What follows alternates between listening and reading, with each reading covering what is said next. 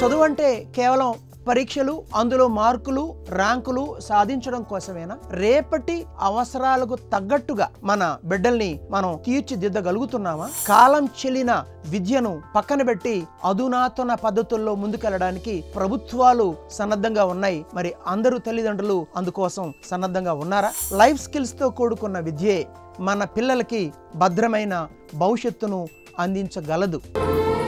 మానస రేపు ఉదయం ఆరు గంటలకు రాత్రి పదకొండు గంటల ముప్పై నిమిషాలకు